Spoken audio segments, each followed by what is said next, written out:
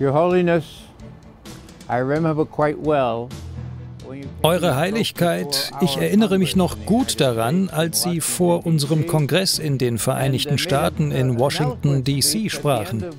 Und Sie hielten eine eloquente Rede, an deren Ende Sie auf das hinwiesen, was Sie das wahre Problem nannten.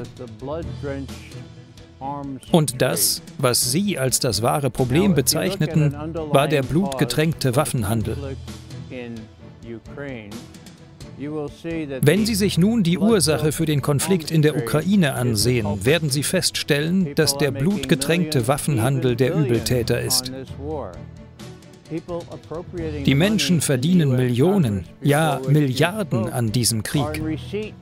Einige derjenigen, die im US-Kongress, vor dem Sie sprachen, die Gelder bewilligen, erhalten Erlöse aus dem Verkauf dieser Waffen. Und das muss aufhören.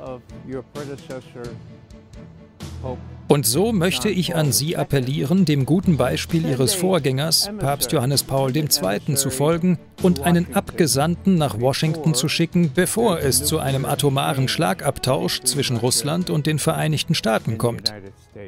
Música